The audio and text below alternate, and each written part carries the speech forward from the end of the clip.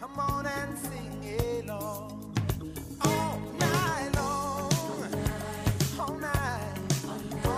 Yeah, this is a man I could talk to all night long, and he is my um, he is my official, by the way, my official co-host. He is uh, the author of one of the most important books of the decade. The book is "The Battle for the Soul of Islam: An American Muslim Patriot's Fight to Save His Faith." He is the president and founder of the American Islamic Forum for Democracy. He is my good friend, Dr. Zuhdi Jasser. Welcome back, Doc. Oh, it's great to be with you, Seth. I, I'm I'm humbled by the promotion. Wow, I, th- th- this is awesome. I, I need to put out a press release or something. Yeah, and you need to block out four weeks in August, by the way. I'm kidding. I'm kidding. I'm just kidding. no Coronado for you, or wherever you doctors go these days. Okay. When I was young, doctors went. A lot of Phoenicians went to Coronado. Where do they go now in August? Where do you? Where do people go?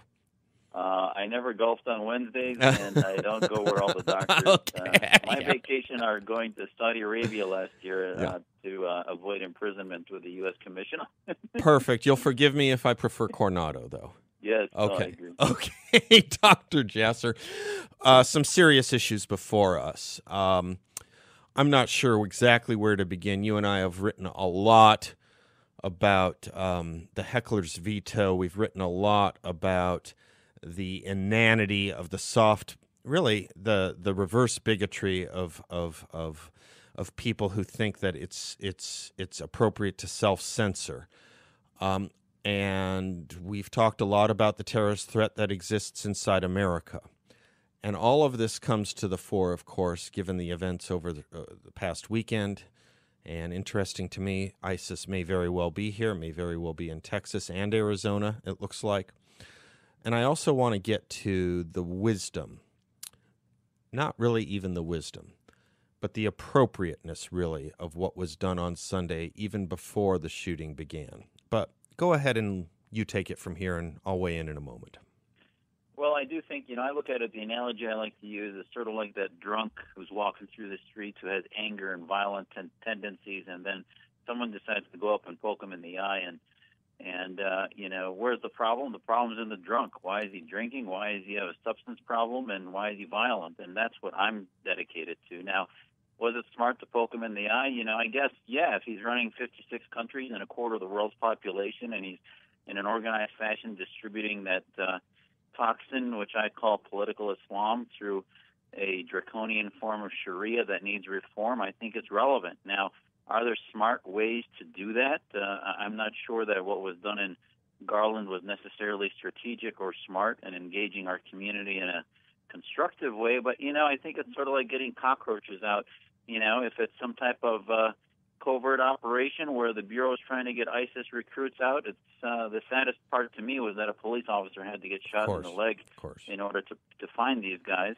Uh, but uh, you know, the the biggest crime I heard this week was the imam of his mosque yesterday on local local TV saying that the reason he got radicalized was the FBI. Yeah, right. I mean, that is the story where you have a pathology in a community that blames the bureau for doing informant work uh, and and finding this guy where the mosque here in Phoenix gave him a hundred thousand dollars bail to get this guy out of jail because they were writing in their newspapers as Breitbart posted back in '06. Now they showed a, a piece in which they were telling the Muslim community to avoid the FBI, etc.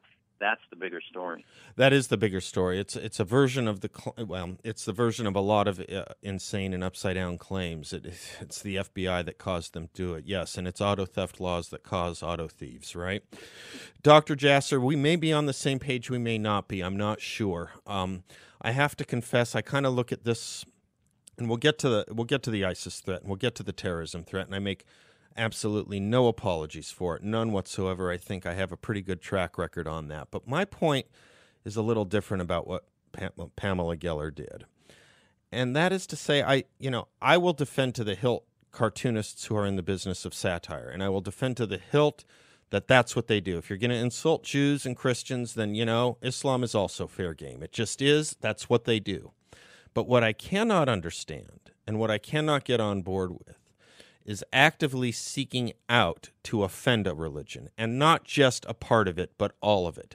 To particularly host a contest that you know is insulting to an entire religion, uh, you know, why? I, I, I do not think if we are engaged in a battle of, that's a clash of civilization, if we're engaged in a battle of ideas, if we are doing our utmost best by being our utmost small d Democrats to say, you know what, freedom is the best friend of Islam, and Muslims are more free in America than anywhere else. I do not see why we would go out of our way or why people would go out of their way to actively insult an entire religion.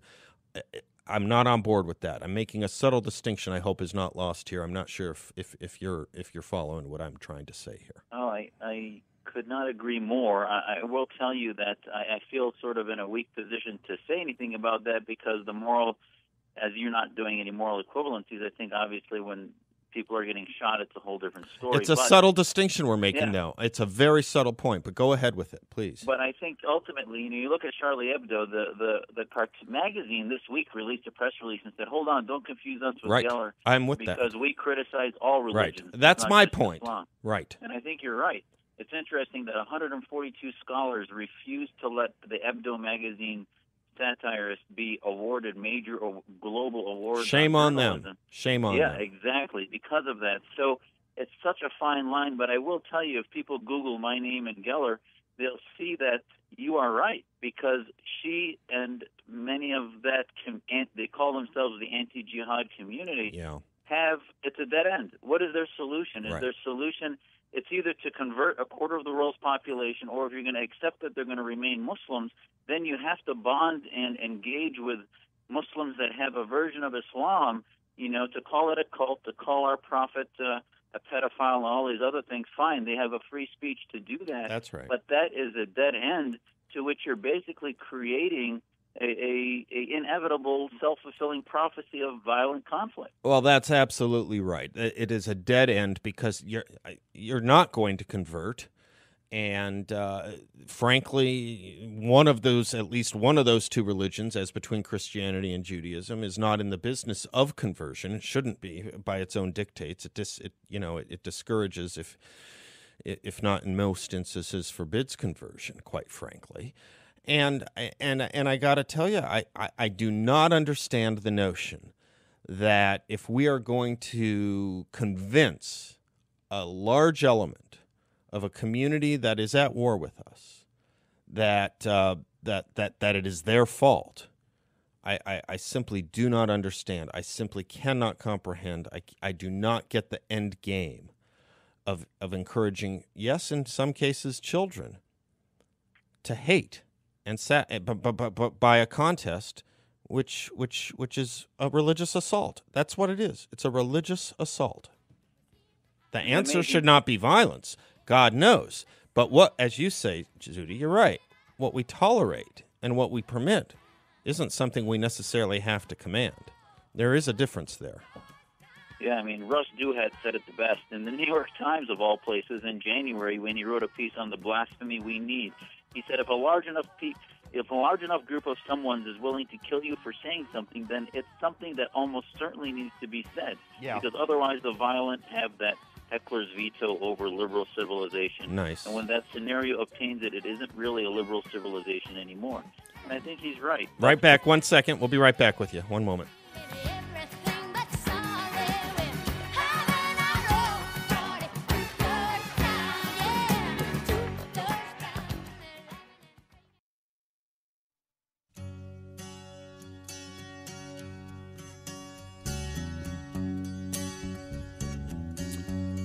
Pleased and privileged and honored to be rejoined by Dr. Zuhdi Jas- Jasser, author of The Battle for the Soul of Islam, an American Muslim patriot's fight to save his faith, founder and president of the American Islamic Forum for Democracy. Right before the break, Doctor, you were making the point about what, a what, what, what, what true liberalism really is, and you were quoting Ross Douthat. Go ahead and do that again. We'll pick up on it, and then we'll get to the bigger threat. But go right ahead. If you don't mind re- reprising that point, it was valuable, I thought. Yeah, he said if a large enough group of someone's is willing to kill you for saying something, then it's something that almost certainly needs to be said, because otherwise the violent have veto power over liberal civilization, and when that scenario obtains, it really isn't liberal civilization anymore.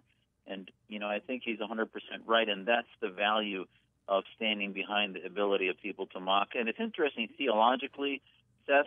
Uh, the greatest blasphemy in Islam is actually uh, denying God, Mhm. and and these people aren't killing atheist conventions. Mhm. The reason they identify the Prophet Muhammad as particular, even though if you go to the Supreme Court in America, there are busts of people that have contributed to uh, Western law. Sure. There is a bust in the Supreme Court that I used to take with my family to see of Muhammad Of course. at, at our Supreme Court. Of course. So, I mean, to say that there's an image of him there, nobody's having a big deal about that. So the issue is of Islamo nationalism. Yeah.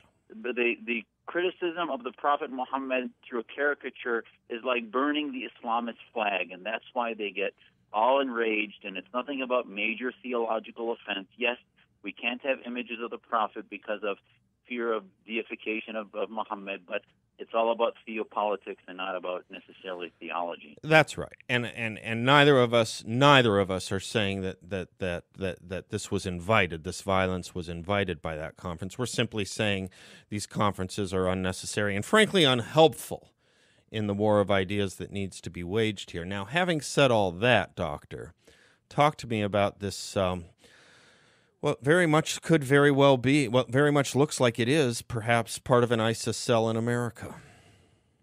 Yeah, and and you know what is ISIS? Is it a membership uh, organization that has uh, cards and you know it's a movement for Islamo nationalism? And this guy uh, put out a tweet, uh, Simpson, uh, uh, previously Ibrahim, uh, saying that he took allegiance to ISIS 20 minutes before he did it. His avatar was Awlaki, uh, which was an Al Qaeda cleric that now has become one of the icons for the movement. So whether it's Al Qaeda, ISIS, these are Islamists that are trying to create the caliphate and ISIS took credit for it. Did they plan it? I doubt it, but we don't know for sure.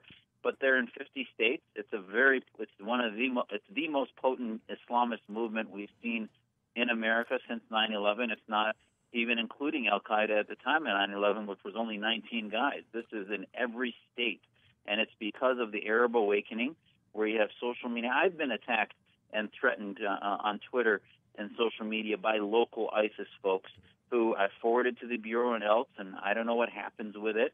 Our bureau people are very under resourced and underskilled, really, in understanding the theopolitical threat. You know, I think you said it all when you said it's a potent force, whether these guys were members or whether it's a membership organization or not. That's kind of the point. I was pulling my hair out, as I know you were, after we first saw the beheadings of James Foley, et cetera, uh, by ISIS, when people were saying, well, they're not that big of a threat. Heck, our president said they were junior varsity, didn't he?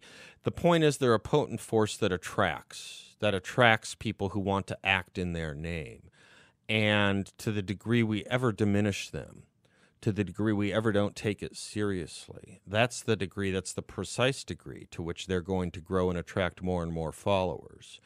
Um, unremarked to me, uh, really by the media, it was it's a very strange thing. Two weeks ago, the killing, the unfortunate killing this of of this uh, aged aid worker uh, by a drone strike. Very little of the coverage was about that. It also killed the American spokesman for Al Qaeda named Adam Gadahn, and he joined Al Qaeda. Right, he joined Al Qaeda as a very young man, and what was it that made him join? Some kind of potency, some kind of potent medicine, some kind of potent elixir that attracted him. Now, we're not seeing tens of thousands of people do it, but my God, we know what 19 can do, Zuhdi.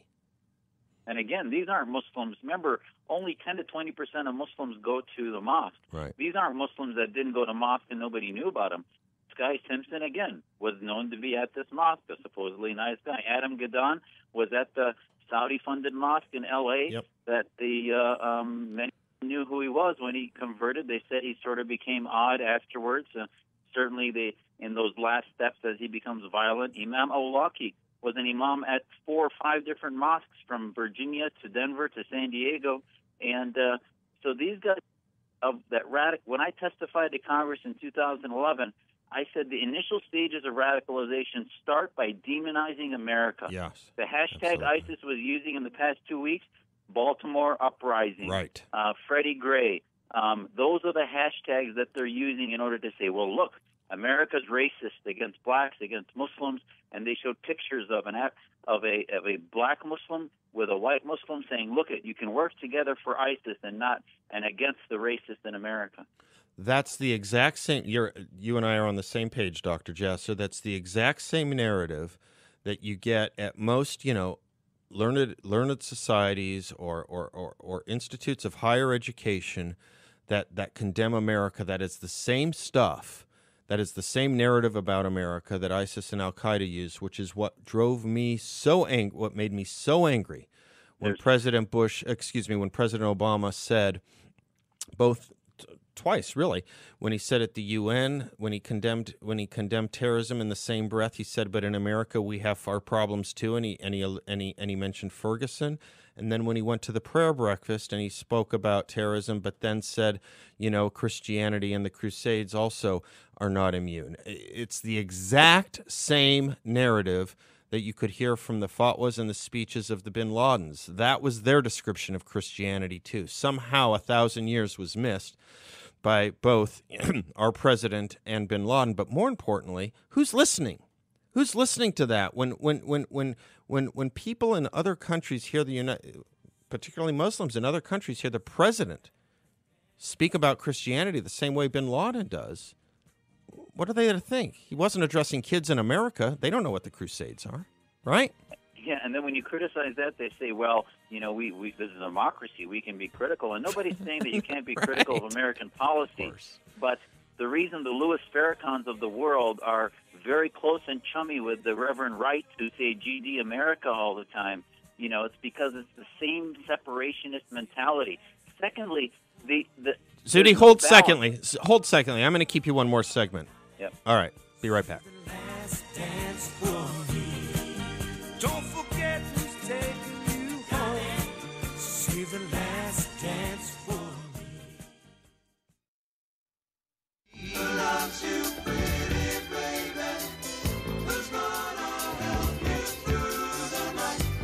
Continuing uh, our conversation with, um, you know, the teacher we all need right now, Dr. Zuhdi Jasser of the American Islamic Forum from Demo- for Democracy. Dr. Jasser, uh, right before the break, you were going down a line. Go go right ahead. If you want to start over, that's fine too. For those that might just be joining us. Yeah, the demonization of America is sort of where it starts. But let me let me also tell you, at, at a mosque here locally in Tempe last Friday, the imam went off on a rant about how America's racist, about Baltimore, et cetera, and how Muslims should unite with the African American community that are oppressed, et cetera. The issue in a democracy is not that people can't say that. Of course. There's no balance. So if the imam had previously, the last Friday, talked about America being a force of good, talked about how we've liberated people in Iraq and Afghanistan, how much pride he has in, in being an American, that's great. You balance that and create an image of love first and then tough love other times. But there's only the negative. If our community is only getting negative, that's why there's more Wiccans in the U.S. military than there are Muslims Huh. because we're not being told that our forces, our police, are forces of good. So they're being told that it's all bad. So the identity is a vacuum, and it's the first step towards radicalization to get an Islamist national identity. Well, that's a very great point. You know, we just had this national uh, release uh, last week on uh, the state of the nation's knowledge of American history, and again, it's it's pathetic. It's in the tank, and so wh- where does that come from? That comes from two generations of treating America, teaching America as a down market commodity. All of our all of our you know uh, scars and, and and and moles and none of our none of our benefits none of our successes and so at a certain point one has to ask what leads us to what you just said why would someone want to join a military on behalf of a country that they despise right why would they want to do that when all we do is teach in our levels of higher institution at our at our levels at you know institutions of higher education that that that this country is is no better than and in many ways worse than you know Saudi Arabia or Somalia, right? That's why we have to look at this as an ideology that we're fighting, and that Americanism that fought theocracy from our founding fathers until our leaders, media, government, academia, get it in their head that we have to start. That's what our Muslim Liberty Project does. It engages youth that their American identity is the most important identity that will give them religious freedom. Nothing else will do that. Then they become inoculated against Islamism. They could never be radicalized if they love this country. One of the only Muslims at West Point is a board member on our organization There you go. and and that's why he's there. Now he's very lonely. There aren't that many Muslims there, but the bottom line is is that this is the beginning of change. It has to start with a pro-Americanism, and it's bipartisan. This is we're not only conservatives, we have Democrats, liberals, and others, but it's about patriotism. No, I think that's right. I mean, it's about forces of composition versus forces of decomposition. It's about uh, forces uh, uh, uh, for civilization and forces against uh, for civilization abuse. That knows no party. That knows no political ideology. Uh, you know, there should be there should be the ability to unite around a patriotism that can be embraced by both Democrats and Republicans and conservatives and liberals. It, it really isn't that hard to do. It's become harder. It's become a lot harder because I think the narrative of the radical left has infused much of moved into much of what used to be the liberal mainstream ideology and the main the liberal mainstream movement so it's become harder and more difficult but I think that's the toxic poison that has been breathed in and accepted by that side. I- Yeah, I don't know why it should be controversial to love the country that gives you the most freedom to do what you want and say what you want and speak what you want and think what you want.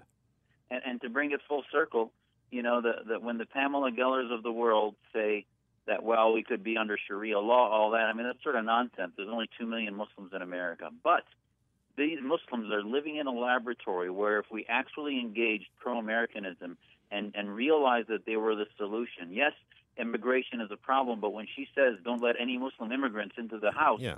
you know, that is actually a, is pushing away the greatest resource Of course. my my closest friend on my Navy ship was a Vietnamese immigrant who had the highest security clearance, there you go. whose family understood what America was because they escaped North Vietnam. Those s- are our greatest immigrant assets. And Muslims, yes, there may be our enemies that are Islamists. We have to filter that, but they can also be our greatest asset. Can you imagine the state of the world and the state of knowledge about the times we live in if we engaged in a policy that would not have allowed a Fouad Ajami into this country? Exactly. You know, we would be we would be dumber people. We would be a dumber people. We'd be a lesser people, as we would be would it not had it not allowed your family into this country. But you're absolutely right.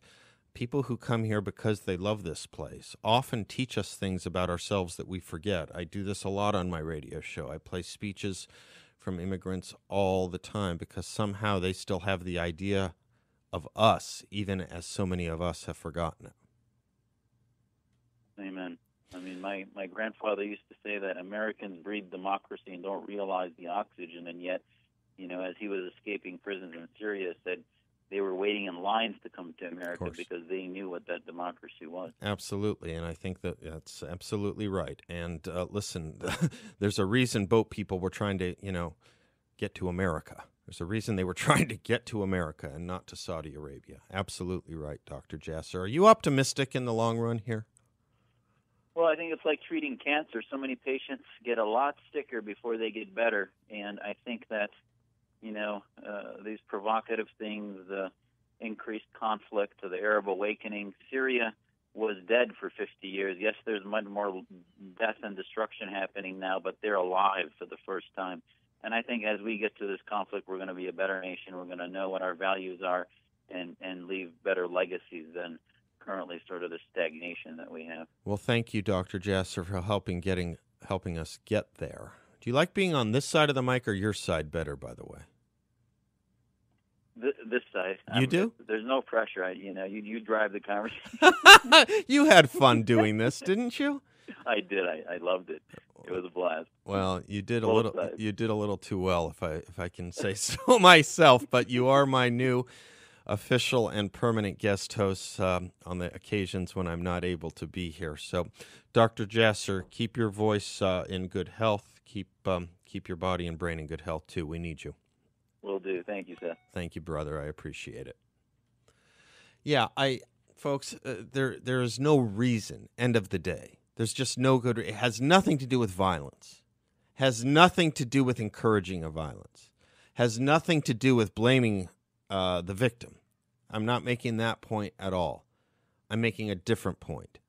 That is, there is no reason, there is no good reason to actively go out and insult at its deepest and most important levels an entire other religion. There's just no reason to do it.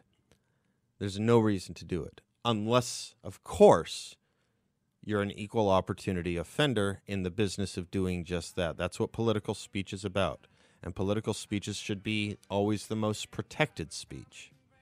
At that point, it's an ancillary part of your job, quite frankly. It's not your main motivation.